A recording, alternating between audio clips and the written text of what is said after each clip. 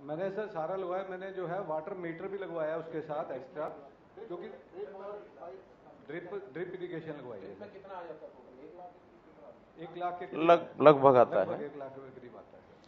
क्योंकि उसकी pipeline drip फिर वो उसकी जो निप्पल्स सारा। तो खैर कुल मिला के आपको तो लगभग जीएसटी के बराबर ही देना पड़ा ना? बाकी सब सरकार से मिला। बाकी सब सरकार अच्छा क्या बोया हुआ है वहाँ? फ़सल क्या बोई हुई है? फ़सल जीरी लगा रखी है सर। जीरी? यानी जीरी भी अब माइक्रो इरिगेशन से होने लग गई है इसका एक बहुत बड़ा ये एक प्रमाण मिल गया है ये। वरना तो लोग कहते थे जीरी को तो जब तक पानी में डुबो के ना रखो और तब तक तो वो होती नहीं है। बहुत अच्छा है। पानी तो सर इसमें जितना आप कम देंगे जीरी में उतनी ज़्यादा बढ़िया होती है। तो आपको क्या लगता है कितना पानी बचा होगा कितने परसेंट उसमें पानी खर्च हुआ होगा और कितने परसेंट बचा होगा?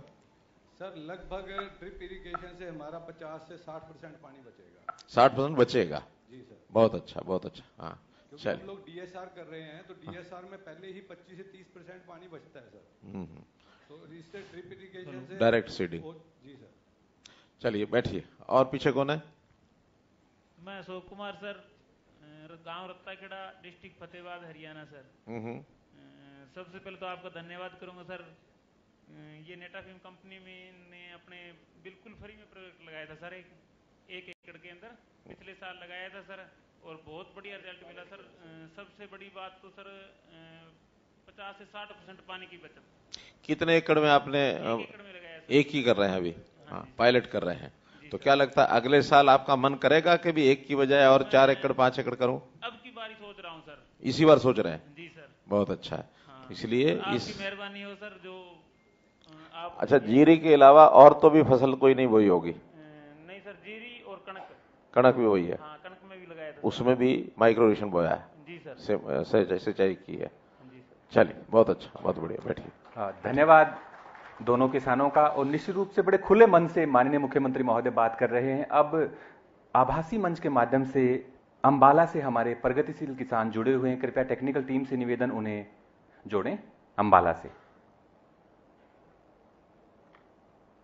बलबीर जी आपको आवाज़ सुनाई दे रही है? माननीय मुख्यमंत्री महोदय आपसे सीधा बात कर रहे हैं। नमस्कार मुख्यमंत्री साहब जी। हाँ नमस्कार भाई बलबीर जी। आप माइक्रो इरिगेशन पर खेती कर रहे हैं?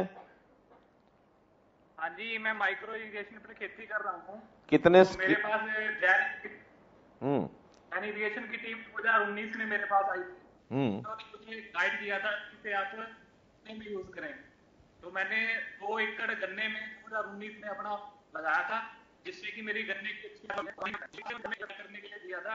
अभी भी हम धान के खेत में ही बैठे हैं जहाँ पे हमने ये लगाई हुई है। आप खेत से ही बोल रहे हैं? हाँ जी मैं खेत से ही बात कर रहा हूँ बहुत बढ़िया। देखिए टेक्निक का जमाना कि अपने खेतों में बैठा हुआ हमारे से बात कर रहा है।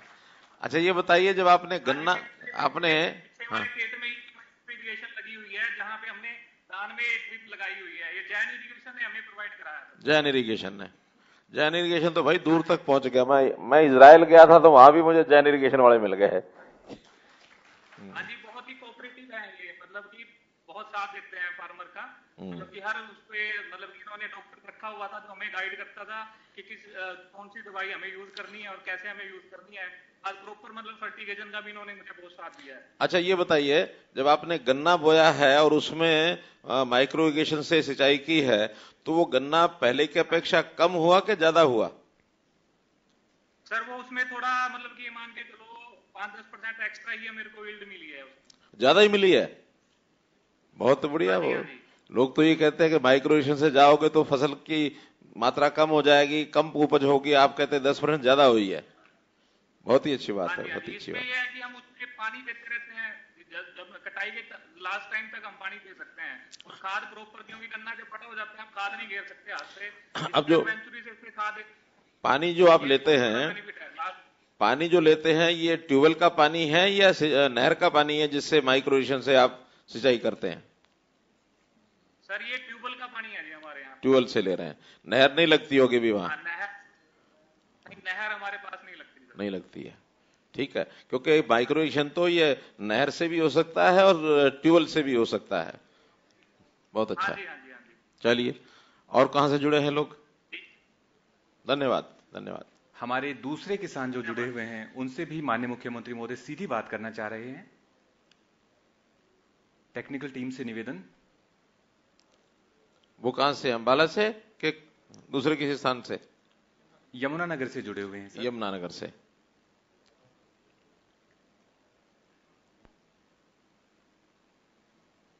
जोड़ो भाई यमुना जोड़ो। से? हकम जी? हिसार जोड़ो कहीं ना कहीं तो जोड़ो।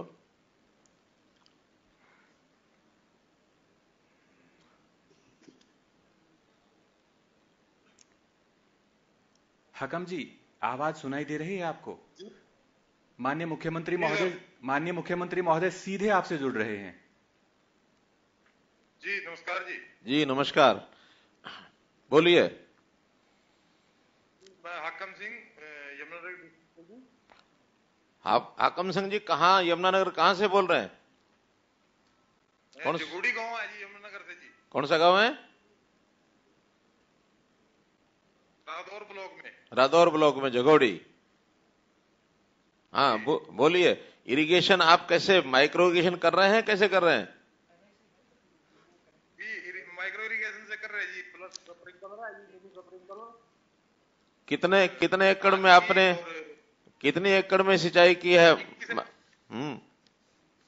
इक्कीस एकड़ में सिंचाई कर रहे हैं जी। इक्कीस एकड़ में माइक्रो इरिगेशन कर रहे हैं? आपका तो अनुभव बहुत बढ़िया होगा फिर आप कब से कर रहे हैं माइक्रो इरिगेशन बताइए।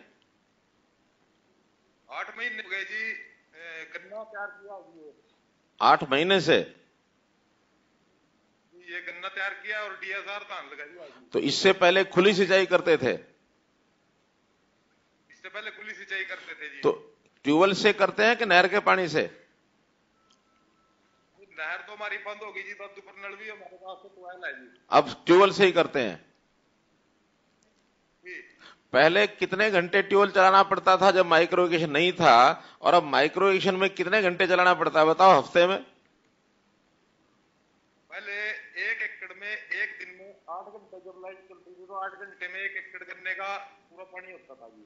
आठ घंटे में एक एकड़ पहले करते थे और अब?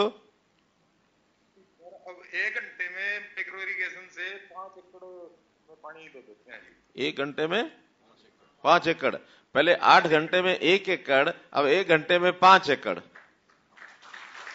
देख लो कितना पानी की बचत और साथ में बिजली की बचत।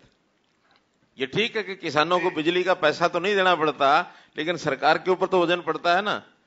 एक ट्यूबवेल का लगभग एक लाख रुपया साल का सब्सिडी लगती है, यानी जो देनी पड़ती है हमको और अगर ये उसका चालीसवां ऐसा कर रहे हैं तो इसका मतलब उसका एक लाख का हमको भी ढाई हज़ार रुपये देना पड़ेगा सतासी हज़ार रुपये तो वही बचेगा। जी। बहुत बढ़िया। पानी की भी बचत है जनाब। पानी?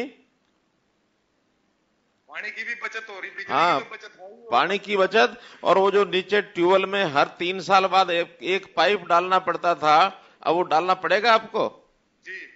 अभी भी डालना पड़ेगा? अब नहीं डालना पड़ेगा वो। क्योंकि लगभग एक मीटर पानी हर साल नीचे चला जाता है। तो तीन साल में तीन मीटर यानी बीस फुट चला गया। बीस नहीं दस फुट चला गया। तो दस फुट का पाइप पाइप हर तीन साल में नीचे डालना पड़ता है। बहुत बढ़िया है बहुत अच्छा। चलिए आगे बढ़ो। धन्यवाद। धन्यवाद। दूसरे अगर किसान लाइन पर हैं निवेदन अंबाला से। आवाज़ सुनाई दे रही है माननीय मुख्यमंत्री जी सीधे आपसे जुड़े हुए हैं। लखविंदर जी।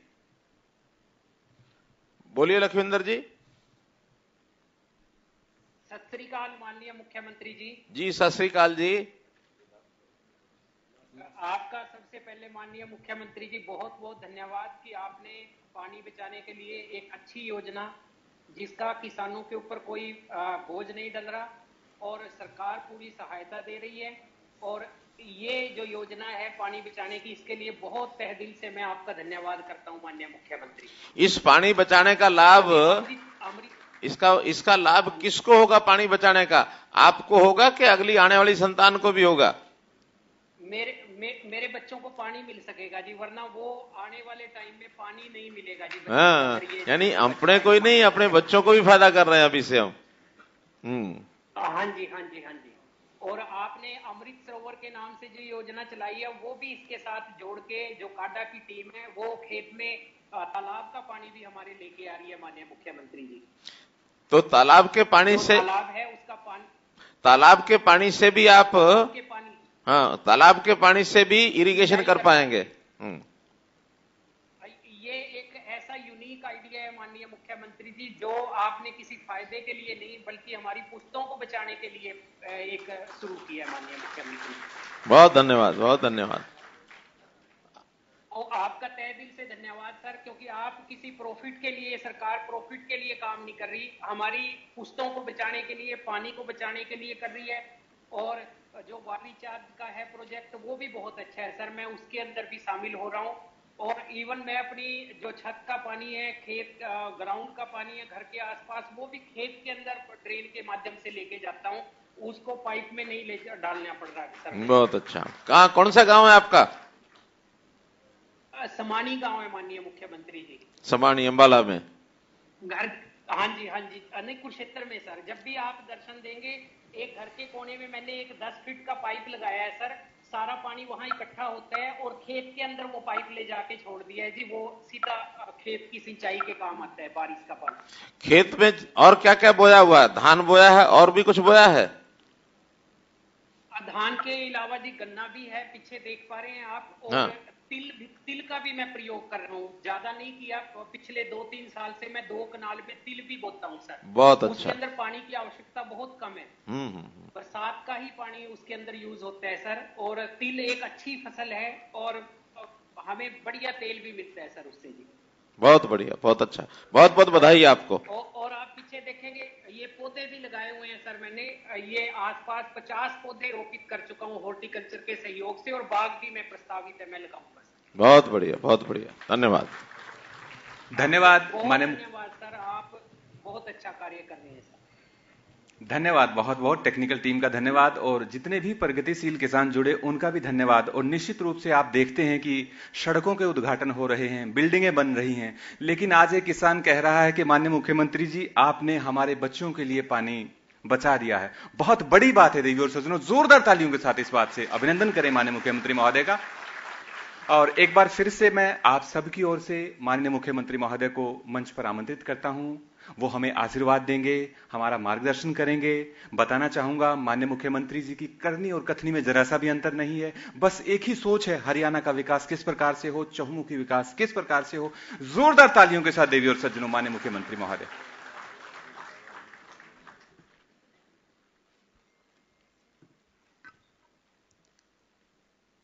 आज की इस संगोष्ठी में मंच पर विराजमान हमारे हरियाणा विधानसभा के माननीय अध्यक्ष Shri Gyanchand Gupta ji,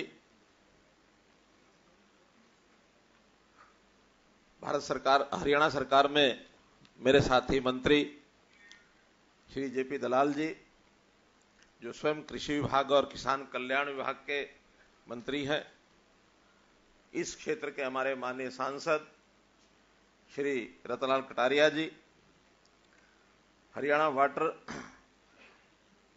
Haryana water authority की हमारी चेयरमैन आदरणीय बहन केशनी आनंद अरोड़ा जी, सिंचाई विभाग के एसीएस श्री देवेंद्र सिंह जी, मिकाडा के प्रशासक डॉक्टर सतवीर काद्याण जी, मंचासीन और सामने सभागार में बैठे हुए सभी अन्य अधिकारीगण, सज्जन वृंद और मेरे किसान भाइयों, बहनों आज का ये अवसर वास्तव में ही हमारे एक विशेष प्रकार की जो योजना, एक दिशा किसान के लिए हमने पिछले समय से बनाई, उसमें एक मील का पत्थर ये साबित होने जा रही है। आज हम सूक्ष्म सिंचाई इस प्रदर्शन के कार्यक्रम की ये शुरुआत कर रहे हैं। केवल शुरुआत कर रहे हैं ऐसा नहीं, बल्कि मैं तो ये कहूँगा कि पानी की हर बूंद को समेटने, सहेजने और उसका एक उच्चतम उपयोग करने की आज हम शुरुआत कर रहे हैं। कहते हैं, जल ही जीवन है। जल के बिना कुछ नहीं।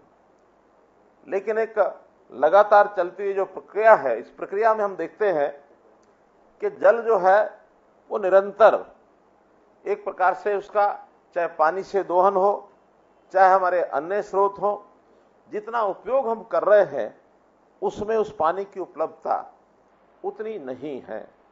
तो आज तो मैं कहूँगा कि पानी की उपलब्धता और उसका उपयोग, इसके ऊपर विचार विमर्श ये हम करेंगे। बेस्ट मैनेजमेंट फॉर वाटर ये हमारा थीम है। पानी तो जितना है, उतना है। अब उस पानी को हम किसी प्रकार से बना नहीं सकते हैं, लेकिन प्रबंधन अच्छा कर सकते हैं। आज तकनीक का युग है और इस तकनीक के युग में तकनीक हमको सिंचाई के जो नए आयाम, उसमें जो सूक्ष्म सिंचाई है, उसका तरीका बता रहे हैं। तो इस तकनीक का उपयोग करते हुए पानी कम से कम उपयोग करके और उसकी उपयोगिता कैसे ज़्यादा ज़्यादा बढ़ाएँ, उसके लिए ये बहुत महत्वपूर्ण है। क्योंकि मित्रों, हम जानते हैं कि पानी जो है, इसका जो महत्वपूर्ण सबसे पहला उपयोग है, वो है पीने का पानी। पीने के पानी के बाद सिंचाई का जो काम है, वो पानी से हम करते हैं। अन्य उपयोगों में भी आता है, लेकिन दो ये इतने महत्वपूर्ण उपयोग हैं कि जिसके बिना हम आगे बढ़ नहीं सकते हैं। अब पीने का पानी, भले ही जितना पानी है, उसकी उतनी मात्रा नहीं लगती, उसमें कम मात्रा लगती है, अधिक मात्रा तो सिंचाई के पानी में लगती है। और जब अधिक मात्रा सिंचाई में लगती है, कल को पानी का अगर संकट आता तो बचाने की जब बात आएगी तो उसी हिसाब से जैसे उपयोग होता है जिस मात्रा में, उसी हिसाब से हम बचा सकते हैं। लेकिन जहाँ तक पीने का पानी है, इसमें हम बचाने का सोच ही नहीं सकते। बल्कि हमारे शरीर को पानी की उपयोगिता ज़्यादा होती है, हमको तो डॉक्टर भी कई बार कहते हैं, ज़्यादा ज़्यादा पानी पियो। प्रतिदिन अगर हम दो लीटर पानी पीते हैं तो ढाई लीटर पीने के लिए कहते हैं, तीन लीटर पीने के लिए कहते हैं। अगर हम पाँच गिलास पानी प्रतिदिन पीते हैं तो उसमें से दो गिलास कम करेंगे तो शरीर शरीर क्षीण हो जाएगा, शरीर अस्वस्थ हो जाएगा। अब रह गया सिंचाई की बात, क्योंकि अधिकांश पानी जो हमारा 85 परसेंट पानी जो सिंचाई के उपयोग में आता है। बचाने की गुंजाइश है तो सिंचाई के पानी में गुंजाइश है, और कहीं गुंजाइश नहीं है। अब नई विधि विधान जो आ गए हैं, उसमें से लगता है कि पानी जो है इसकी सिंचाई, जो फ्लड इरिगेशन हम करते हैं, खुली यानी एक प्रकार से खेती के अंदर जब पानी का उपयोग करते हैं तो उसका फ़सल को कोई बहुत उपयोग नहीं होता है। फ़सल को उपयोग के लिए तो उसको उसकी जड़ों में सिर्फ़ बूंद बूंद पानी भी डाला जाएगा तो उस नाते से उसका उपयोग करके उसमें से बचा सकते हैं। तो इसलिए ये जो विधि है, ये हमको यानी सूक्ष्म सिंचाई, माइक्रो इरिगेशन, टपका सिंचाई फुहारा सिंचाई इसी में से मिल सकता है, ताकि हम पानी की अधिकांश मात्रा इसमें से कैसे हम बचा सकते हैं। मित्रों, अब पानी का एक दूसरा भी एक पक्ष हमको ध्यान करना पड़ेगा कि हरियाणा का अगर हम विषय लेते हैं, हरियाणा में पानी की उपलब्धता दूसरे प्रदेशों के अनुसार उतनी नहीं है, क्योंकि हम अपनी नदी से नाते से केवल यमुना का आधा पानी हमको मिलता बाकी कोई नदी हमारे यहाँ नहीं उतरती पंजाब में तो और भी नदियाँ उतरती हैं, जम्मू कश्मीर में भी नदियाँ हैं, उत्तर प्रदेश में भी नदियाँ हैं। उत्तराखंड और हिमाचल, क्योंकि पहाड़ी इलाका है, उनको उस प्रकार की उतनी आवश्यकता नहीं है नहर के पानी की। तो हमारा नहरी पानी, सिंचाई के लिए जो पानी, उसकी उपलब्धता हमारे पास बहुत कम है। और हमारा संकट दूसरे प्रदेशों से पानी लेने का बना हुआ है। जब हम बात करते हैं कि हमारा हिस्सा भाखड़ा से पानी हमको मिलना चाहिए, सतलुज ब्यास का पानी हमको मिलना चाहिए, उसके लिए झगड़े निरे चल रहे हैं। अब ये झगड़े जब निपटेंगे, तब निपटेंगे। एक राजनीतिक भी कुछ कारण बने हुए हैं। सुप्रीम कोर्ट हमारे साथ है। सुप्रीम कोर्ट ने निर्णय दे दिया है। जब होगा होगा। लेकिन तब तक हम हाथ पर हाथ रख करके बैठे नहीं रह सकते। हमको अपना पानी जो है, जितना उपलब्ध है, उसका प्रबंधन ठीक करना पड़ेगा ताकि हम अपने वर्तमान काम को ठीक से चला सकें। इसलिए जो कृषि में ये जो हमारा पानी काम आता है, इस कृषि के पानी की जो सबसे बेहतर जो तकनीक है, वो ये जो माइक्रोइगेशन है, यही है। आज माइक्रोइगेशन के ये जो प्रयोग के लिए हम लोगों ने इतना बड़ा ये कार्यक्रम चलाया है कि इस सिंचाई का जो प्रदर्शन, पिछहत्तर स्थानों पर सूक्ष्म सिंचाई का ये प्रदर्शन, जिसका भी इनाग्रेशन किया है, यही अपने आप में एक रास्ता है। फ़सलें कोई भी हो, उसमें चाहे, क्योंकि सबसे ज़्यादा फ़सल पानी को जो पीती है वो है धान। धान की सिंचाई उसमें जो खुले में सिंचाई करते हैं उसका यानी एक अनुमान जो लगाया जाता है कि धान जो है एक किलो चावल में तीन हज़ार लीटर पानी लगता है। ऐसा वैज्ञानिकों का मानना है सबका सोचना विचारना कई बार हम सुन, सुन चुके हैं। बल्कि हिसार के हमारे एक प्रोफेसर रमेश यादव उनसे मैं एक बार मिला। खाना खा रहे थे, चावल आ गए मैंने कहा, चावल भी ले लेते हैं। उन्होंने चावल नहीं खाए। मैंने पूछा कि आप चावल खाते नहीं है? कि नहीं, मैं नहीं खाता हूँ। क्यों नहीं खाते हैं? कारण क्या है? कई बार स्वास्थ्य के कारण से, कई बार कोई मना करता है। कहला मैं इसलिए नहीं खाता हूँ कि एक किलो चावल, ये अगर खाया जाए तो तीन हज़ार लीटर पानी बर्बाद हो जाता अब एक व्यक्ति की सोच है। उस नाते से विचार आया कि धान की हमें भी उपज कम करनी चाहिए। एक समय था जब हम ग्रीन रेवोल्यूशन के नाते से क्वांटिटी बहुत चाहिए थी हमको, चाहे धान है, चाहे गेहूँ चाहे बाकी चीज़ें हैं। 1960 में हरित क्रांति के नाते से आगे बढ़े। हमने अंधाधुंध इन चीज़ों को आगे बढ़ाया और उसके अंदर खास करके जो रासायनिक खाद होते थे, उनका जब हमने उपयोग किया तो उसका दुष्परिणाम क्या हुआ कि जहर के नाते से भी वो जो रासायनिक खाद है, वो उस अन्न के माध्यम से हमारे शरीर के अंदर जाने लगा। यानी नई नई विधाएँ हमको देखनी पड़ेंगी कि शरीर को खाद्यान्न ठीक मिले। खाद्यान्न जितना आज हो गया है, उतनी आज हमारी आवश्यकता भी नहीं है। तो हमने उसमें से विचार करके कि धान को कैसे कम किया जाए, दो वर्ष पहले योजना बनाई, द्विवर्षीय जो हमने पानी की एक प्रबंधन की योजना बनाई, उसके अंदर धान को कम करने के लिए एक एक नारा हमने दिया, मेरा पानी मेरी विरासत। कि मेरा जो पानी है, वो केवल मेरे लिए नहीं है, बल्कि विरासत के नाते मुझे अगली पीढ़ी को भी देके जाना है तो इसलिए धान की बिजाई कम करो। और मुझे खुशी है कि पहले साल में अट्ठानवे हज़ार एकड़ ये धान की बिजाई कम हुई। अट्ठानवे हज़ार एकड़। इस बार का हमारा टारगेट है कि हम चाहते हैं कि जितना धान है, दो लाख एकड़ हम उसमें से कम कर सकें, ताकि पानी की बचत उसमें से हो। तो मित्रों, इस धान की बात हो, चाहे गन्ने की बात हो, मक्के की हो, कपास हो, फल सब्ज़ियाँ सब में ही इरिगेशन का प्रकार बदलना होगा। ठीक है, इसमें हमारे कुछ साधन लगेंगे। साधन में हमने तय किया कि पानी से कीमती कोई चीज़ नहीं है, पानी सबसे ज़्यादा कीमती है, बाकी सब साधन उतने कीमती नहीं है, उसको हम भुगतान कर लेंगे, लेकिन पानी कम हो गया तो उसकी कीमत नहीं अदा की जा सकती। इसलिए आज तो हमको भले ना लगे, आज हम सोचते हैं पानी फ्री में मिल रहा है। पानी का जितना उपयोग कर लो कर लो। लेकिन ये नहीं पता कि अगली पीढ़ी जब आएगी, उनको पानी नहीं मिलेगा तो कितनी कीमत चुकानी पड़ेगी, इसका अनुमान हम नहीं लगा सकते हैं। बल्कि कुछ विशेषज्ञों की तो राय यह है कि पानी जिसका उपयोग है, उसका भी जिसको कहना चाहिए, उसके ऊपर प्रबंधित, प्रतिबंधित करना चाहिए कि इतना ही पानी उपयोग करो, इससे ज़्यादा मत करो। अभी हमारे यहाँ तो अभी उसको स्वीकार करने के लिए तैयार नहीं है। हमारी मैडम जो हमने वाटर अथॉरिटी बनाई है, मैडम केशीनाथ अरोड़ा इनको कहा है कि सारे अध्ययन करने के बाद हमको बताएँ कि पानी का उपयोग कैसे कम किया जाए। तो उसके लिए कुछ लोगों का यह भी कहना है कि पानी के ऊपर थोड़े चार्जेस बढ़ा दिए जाए और बाद में जो पानी हम ट्रीट करते हैं, उस ट्रीट किए हुए पानी को रीयूज करने का जो रास्ता वो खोलना चाहिए ताकि जो पोर्टेबल वाटर है, नहर का पानी है, कच्चा पानी है, वो अगर महँगा मिलेगा तो अपने आप बाकी उपयोग में, चाहे खेती होगी, चाहे उद्योग होगा, चाहे अन्य ऐसे उपयोग जिसके अंदर ट्रीटेड वाटर का उपयोग किया जा सकता है, उसका प्रचलन हमको करना पड़ेगा।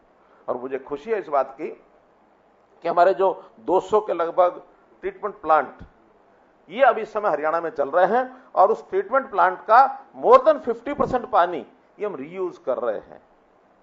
रीयूज कर रहे हैं। हिदायत तो ये है कि ट्रीटमेंट पानी ट्रीटेड वाटर का भी एक बूंद ड्रेन आउट नहीं होना चाहिए। उसका उपयोग सिंचाई में करें उसका उपयोग इंडस्ट्री में करें, उसका उपयोग बगीचे में करें, यानी म्यूनिसपैलिटीज को दें, ऐसे उपयोग के कारण से ही हम जो है पोर्टेबल वाटर अपना नहर का पानी बचा सकते हैं। तो इसलिए मित्रों, ये बहुत चैलेंज है। इस चैलेंज को हर बूंद पानी की बचाई जाए, इस प्रकार से इसको लेना पड़ेगा। प्रधानमंत्री जी ने भी एक हमको एक लाइन बोल करके आह्वान किया था पर ड्रॉप मोर क्रॉप अर्थात एक एक बूंद को बचा करके हमको जो है पानी इसका वो लेना पड़ेगा क्योंकि हम जानते हैं बूंद का बड़ा महत्व है। एक कहावत हमने सुनी होगी ना कि बूंद बूंद से घड़ा भरता है और बूंद बूंद से ही सागर। यानी बचाना एक एक बूंद है और हम सब मिलकर के पानी की बचत की ओर आगे बढ़ेंगे तो आने वाला एक संकट हमारा जो पानी का है उसको हम निश्चित रूप से उसको आ, उस संकट को टाल पाएँगे। बहुत लोग तो यहाँ तक कहते हैं कि दो वर्ल्ड वार हुई है। आगे आने वाले समय में अगर कभी कोई थर्ड वर्ल्ड वार होगी तो पानी के विषय पर होगी। पानी का संकट इतना बड़ा आ सकता है।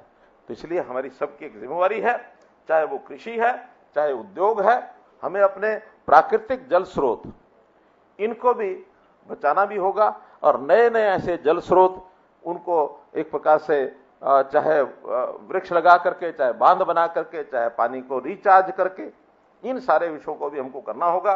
आने वाला समय, ये जो चुनौती है, उस चुनौती को कैसे हम हल करें, उसमें से आज का जो ड्रिप इरीगेशन का जो एक कार्यक्रम चलाया गया है, इस के लिए मैं अपना जो सिंचाई विभाग है, मिकाडा खास करके, उनको बधाई देता हूँ, उनको बहुत बहुत शुभकामना देता हूँ कि आने वाले समय में इसको और कैसे आगे बढ़ाएँ। सरकार की ओर से साधन की कोई कमी नहीं आने देंगे बजट जितना आवश्यक है इस काम के लिए, उतने बजट का उपयोग करेंगे। पानी एक प्रकार से अमूल्य है। पानी की कोई कीमत ऐसी नहीं है जिसको हम चुका सके। पानी बचाना है। हम अगर उदाहरण लेते हैं इसराइल का। इसराइल एक ऐसा प्रदेश है कि जो बहुत संघर्ष करके अपने आप को आगे बढ़ा पाया है, लेकिन रेगिस्तान है, पानी नहीं है। वहाँ तो हर काम, हर, यानी जो उनकी खेती की एक एक फ़सल एक एक पौधा, वो माइक्रो इरिगेशन से ही अपनी खेती, सिंचाई करते हैं। खुली सिंचाई तो सपने भी कभी सोची नहीं है। एक बार एक इसराइल का जो ग्रुप है, हमारे आ गया, वो हिसार से सिरसा जा रहे थे। रास्ते में एक नहर, वो टूटी हुई कहीं टूट गई होगी किसी भी कारण से। जब उसका पानी लगातार इतना बह रहा था, वो वहाँ रोक करके गाड़ी खड़े हो गए। कि ऐसा पानी, इतना पानी जो बह रहा है, ये कहाँ जा रहा है, कहाँ से आया? उन्होंने कभी इस प्रकार से पानी बहता हुआ नहीं देखा था। जो बहता हुआ पानी इस प्रकार का, वो कहते हैं, हमारे यहाँ तो हम लाल, यानी बिल्कुल जिसको कहने लालसा पानी की ऐसी है कि ये पानी हम कोशिश करें कि यहाँ से आपके यहाँ से ले जा ले जा करके इजराइल में पानी का उपयोग कर ले।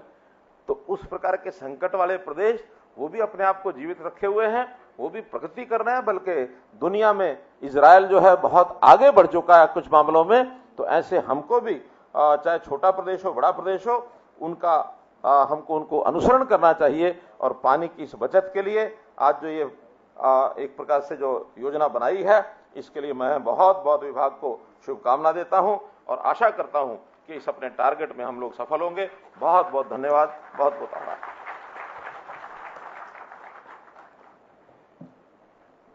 धन्यवाद माननीय मुख्यमंत्री महोदय। निश्चित रूप से एक एक चीज़ के ऊपर प्रकाश डाला और बताया कि किस प्रकार से पानी कितना कीमती है हमारे लिए और आने वाली पुस्तों के लिए हम कैसे पानी को बचा सकते हैं। धन्यवाद। इसके बाद मैं नम्र निवेदन कर रहा हूँ स्मृति चिन्ह के लिए एसीएस महोदय, आज के हमारे मुख्य मेहमान श्रीमान मनोहर लाल जी को स्मृति चिन्ह देंगे। उनका वंदन करेंगे, अभिवंदन करेंगे। स्मृति चिन्ह देकर ले आइए। दिव्य और सज्जनों, जोरदार तालियों के साथ आप अभिनंदन करेंगे। माननीय मुख्यमंत्री महोदय मान्य प्रधानमंत्री जी के विजन को, जो बूंद बूंद वाला विजन है, उसे भी साकार कर रहे हैं। और जनसंख्या के क्षेत्र में भले ही हरियाणा छोटा हो, लेकिन विकास के क्षेत्र में जो नई नई कीर्तिमान स्थापित मुख्यमंत्री महोदय के दिशा निर्देश में हो रहे हैं, वो काबिल लाल को सुन रहे थे तो पंचकुला दौरे पर पहुँचे हुए हैं सीएम मनोहर लाल। राज्य स्तरीय कार्यक्रम में हिस्सा लिया है सीएम मनोहर लाल ने। आपको बताएँ कि ड्रिप सिंचाई के प्रदर्शन पर यह कार्यक्रम आयोजित किया गया है। तो मुख्यमंत्री मनोहर लाल ने इस खास कार्यक्रम का शुभारंभ किया है। दीप जलाते हुए इस खास कार्यक्रम का शुभारंभ किया है। सूक्ष्म सिंचाई योजना से किसानों को लाभ मिल रहा है। तो ऐसा सीएम मनोहर लाल ने कहा है। सीएम मनोहर लाल ने इस खास कार्यक्रम का शुभारंभ किया। तो पिचहत्तर प्रदर्शन परियोजनाओं का शुभारंभ किया। एसवाईएल के भरोसे नहीं रह सकते सीएम मनोहर लाल। तो पानी की हर एक बूंद कीमती है। तो सीएम मनोहर लाल ने ये तमाम बातें अपने खास कार्यक्रम के दौरान कही। तो सीएम मनोहर लाल ने इस खास कार्यक्रम का शुभारंभ किया है। तो किसानों के साथ सीएम ने संवाद भी किया है? संवाद के दौरान क्या तमाम बातें उन्होंने कही, वो भी हम आपको बता रहे हैं। तो ज़्यादा जानकारी के साथ मेरे सहयोगी उमंग शरान जुड़ गई हैं पंचकुला से। उमंग, इस खास कार्यक्रम के बारे में क्या कुछ जानकारी? जी, बिल्कुल। देखिए, मैं बताना चाहूँगी कि हरियाणा के मुख्यमंत्री आज पंचकुला पहुँचे हैं। पंचकुला के सेक्रेटरी पीडब्ल्यू रेस्ट हाउस में उन्होंने जो सूक्ष्म यानी लघु सिंचाई वाले किसान हैं, उनको सौगात देते हुए आज जो ड्रिप इरिगेशन है यानी ड्रिप डेमोन्स्ट्रेशन है, उसको लेकर उन्होंने फ्लैगशिप प्रोग्राम जो है उसे लॉन्च किया है, जिसके तहत पचहत्तर सौ जो ड्रिप डेमोन्स्ट्रेशन है उनको लॉन्च किया गया जी। हम्म। उमंग अगर बात की जाए तो फ्लैगशिप कार्यक्रम का शुभारंभ किया गया है आज। तो ऐसे में किसानों तक क्या क्या जो सुविधाएँ हैं वो पहुंचाई जाएँगी? क्योंकि सीएम मनोहर लाल ने खुद कहा कि बूंद बूंद की जो योजना है वो हरियाणा में चलाई जा रही है।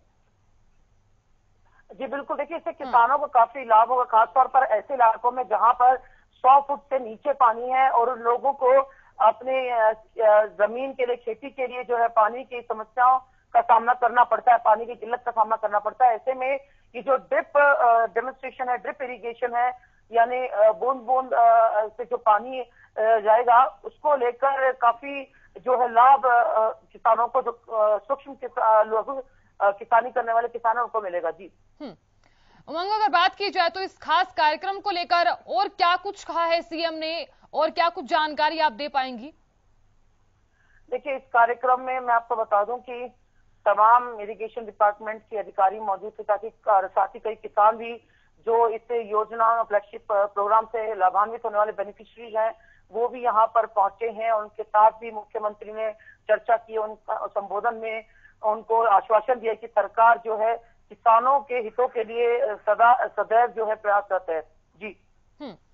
उमंग अगर बात की जाए तो धान को कम करने के लिए योजना बनाई है तो इसे कैसे देखा जाए? इसे किस तौर पर देखा जाए?